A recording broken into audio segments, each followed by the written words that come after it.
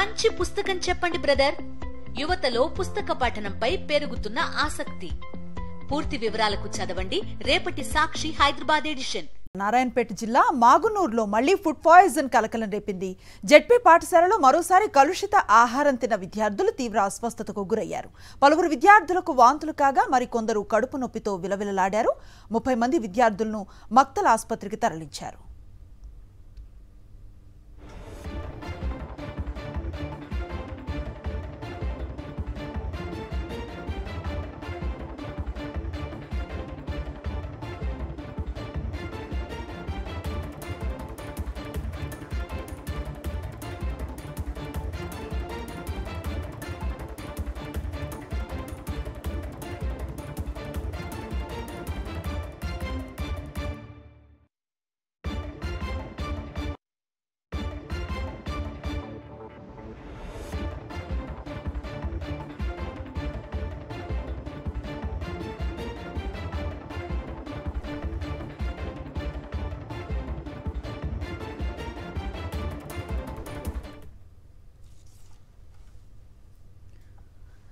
నారాయణపేట జిల్లా మాగునూరులో మళ్ళీ food poison కలకలం రేపింది. జడ్పీ పాఠశాలలో మరోసారి కలుషిత ఆహారం తిన్న విద్యార్థులు తీవ్ర అస్వస్థతకు గురయ్యారు.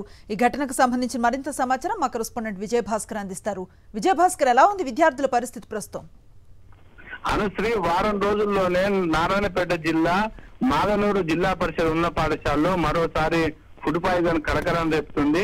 ఈ నెల ఇరవై తేదీన దాదాపు యాభై మంది విద్యార్థులు ఈ యొక్క కలుషిత ఆహారం తిని అస్వస్థత గురి కాగా దాంట్లో పదిహేను మంది పరిస్థితి విషమంగా ఉండడంతో వారిని మహబూబ్నగర్ జిల్లా ఆసుపత్రికి తరలించి రెండు రోజుల తర్వాత వారికి చికిత్స అందించిన అనంతరం వారిని డిశ్చార్జ్ చేయడం జరిగింది.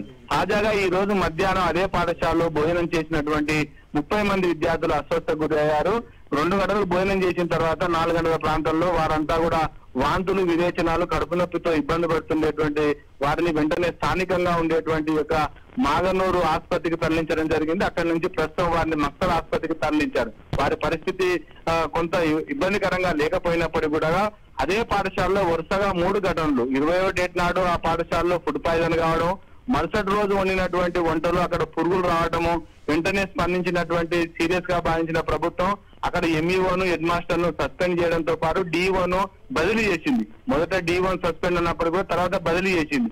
కానీ వరుసగా జరుగుతున్నటువంటి ఘటనలు మాత్రము జిల్లా వ్యాప్తంగా ఆందోళన కలిగిస్తున్నాయి. ముఖ్యంగా నాసి రకమైనటువంటి కూరగాయలు కానీ పర్యవేక్షణ లోపమే దీనికి కారణమని చెప్తున్నప్పటికీ కూడా ఇంకా వారి యొక్క పద్ధతిలో మార్పు రాకపోవడం మాత్రం విమర్శలకు వెలిపెడుతుంది తాజాగా మాత్రం ఈ రోజు జరిగినటువంటి యొక్క ఘటనలో ప్రస్తుతం ఆ యొక్క విద్యార్థులు ఇరవై నాలుగు మందిని మాత్రం మక్తలు ప్రభుత్వ ఆసుపత్రికి తరలించడం జరిగింది Anusri Right. Uh, thank you, Vijay Bhaskar.